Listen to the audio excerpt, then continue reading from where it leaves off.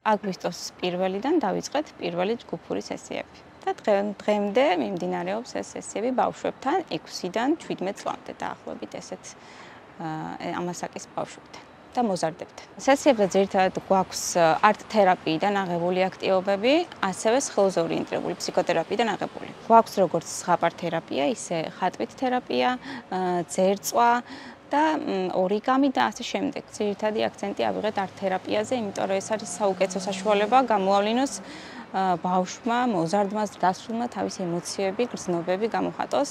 სტრესის სხვადასხვა დონე არსებობს, ესე ვთქვათ. აა არის სუბუქი სტრესი, არის ქრონიკული სტრესი და არის ტრავმა. თავიდან რო დავიწყეთ, აა იყო რა თქმა უნდა ეს გაურკვევლობის შიში, რა იქნება, აქ რატომ ვარ და რა თქმა უნდა შევატარეთ ჩვენ შეხვედრები წინასწარ მშობლებთანაც, ბავშვებთანაც, რომ უფრო გარკვეული იყვნენ, რა ელოდებოდათ ჩვენთან. აა თუმცა აი პირველი სესიის შემდეგ როცა გაიღო კარი და გამოვიდნენ ბავშვები, ეს იყო ძალიან სასიამოვნო, იმიტომ რომ ძალიან გახარებულები გამოვიდნენ და თითქოს რაღაცა მათთვის ესეთი გარემო შეუქმენით ემოციებისგან გასათავისუფლებელი, ესე ვთქვათ და იმისთვის რომ იგრძნონ თავი დაცულად. და ეხლაც რა თქმა უნდა მოლოდინები აქვთ რომ გააგრძელებენ, იმიტომ რომ ხშირად გვეკითხებიან ხო გაგრძელდება და რა თქმა უნდა იმედი აქვთ რომ დაბრუნდებიან და აი რაღაც იმ მოტივირებულები არიან, რომ ეს დამთავრდება და მე ვწავლენ აქედან. ხშირად ხატავენ უკრაინის დროშებს საქართველოსთან ერთად და ძალიან მადლობლები არიან, რომ ესეთი გულთბილი მიღება მოუწყვეთ აქ.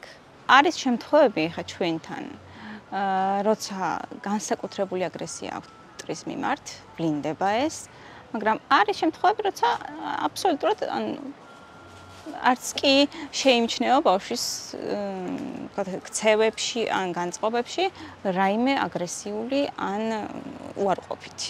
მშობლები თვითონ ტრაუმირებულები არიან, თვითონ ეშინიათ და რთულია აიმისგან დაიცვა ბავშვი. ხშირად ამბობენ ხოლმე, რომ აი აქაც გვაქვს შიში, რომ აი აქაც შემოვა ჩვენი მტერი.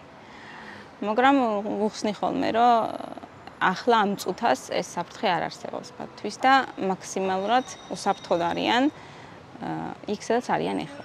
თუ მოთქმულად ელოდებოდნენ სკოლის დაწყებას. დიდი ნაწილი ამ ბავშვების, იმიტომ რომ მაინც ასე თქვათ მათი წრე იქნება იქ, მათიანები იქნებიან, მათი თანამემამულეები იქნებიან და ძალიან ესეთი სხვანაირი გარემო იქნება იქ მათთვის. უფრო როცა სხვაგან ხარ და ხედავ მაგალითად როცა მივიდივართ ევროპაში და ხდება ქართველი.